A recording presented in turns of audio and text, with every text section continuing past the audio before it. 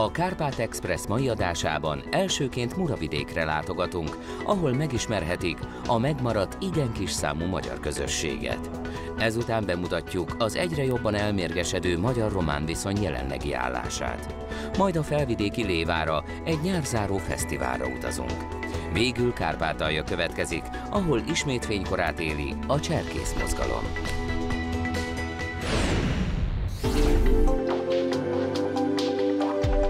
Gazdag épített örökség, gyönyörű táj a nyugati nyelvhatáron. Muravidéken ugyan nem túl nagy a magyarság száma, de annál inkább élik és tisztelik a hagyományokat és a kultúrát. A Kárpát Express stábja Muravidék központjába Lentvára látogatott el. A 11 ezer fős település majdnem fele még mindig magyar. Lentva egyik emblematikus épülete, a vár. Az alapja igazából reneszánszkori a pincei rész, pince része, az emeletek pedig egy barokkorból származik, 1780 körül épült. A várnak a 20. században hányatott sorsa volt. A vár 1920 után mondhatnám így, a gazdátlan lett, a jugoszláv hadsereg laktanyának használta, majd később iskola is volt benne, aztán lakatlan, és majd csak 1973-ban alakult múzeum és galéria az építményben. A várban helyet kapott egy néprajzi és történeti kiállítás is. De külön emlékszobája van Lentva leghíresebb szülöttének, Zala Györgynek is.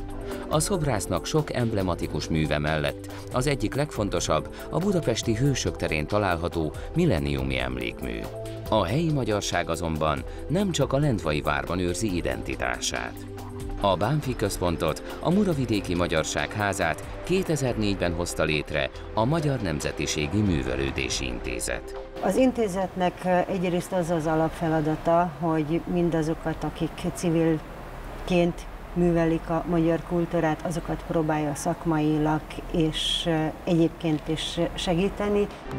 Természetesen fontos a következő generációk nevelése és művelése is. Muravidéken már több mint 50 éve nem működnek magyar iskolák, megpróbáljuk felkarolni mindazokat a tevékenységeket, ami magyar értékeket hordoznak magukban, és azt az iskolának nyújtani, segíteni.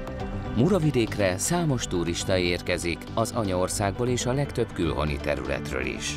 Lengő kalászmezők vannak, és bor, bortermő, szőlőtermő, bortermő dombok, ezen kívül az, a, az emberek itten őrzik a régi magyar hagyományaikat, és az együttélést is művészien folytatják a más kultúrájú népekkel. A helyi magyarok egyik legfontosabb érdekvédelmi szervezete a Lendva községi Magyar Nemzeti Önkormányzati Közösség. Céljuk a helyi magyarság támogatása minden területen, de különösen nagy figyelmet szentelnek a jövő nemzedékének. Szeretnénk nagyon-nagyon sok olyan tevékenységet létrehozni még, meg azokat, amik már vannak, hogy a fiataljainkat ezért úgy itt marasztalni és visszahívogatni, úgyhogy valamilyen szinten azt mondom, hogy maradj itthon című dologra szeretnénk ráébreszteni őket, hogy ez nagyon fontos. Vida Törnar Judit szerint, bár a muravidéki magyaroknak megvan minden kisebbséget megillető joguk, viszont sokan sok esetben nem akarnak és nem is tudnak ezekkel élni. Ezért kell irányt mutatni a helyi magyarságnak. Mert amiért harcolni kell, azt sokkal jobban magadinak érzed, de miért meg nem kell harcolni, adott azt meg úgy szeretsz, hogy elsiklani mellett, és ezért fontosak ezek az emberek, akik a magyarokat kiviselik, hogy rádöbbenjünk, hogy tényleg itt vagyunk, hosszú ideig, és vannak jogaink, és kell, hogy vele éljünk. A szlovén televízióban már 35 éve futnak magyar műsorok. Az egyik legemblematikusabb a Lendvai televízióban sugárzott Hidak. Lényegében, mint a legrégebbi adásunk neve is tükrözi, Hidak, mi azért vagyunk, hogy hidakat építsünk a szlovén és a magyar nemzet között, nem utolsó sorban a magyarok és az anya ország között. A hidak építése pedig fontos, nem csak Muravidéken, hanem minden külhoni területen, hiszen a hidak nem elválasztanak, hanem összekötnek.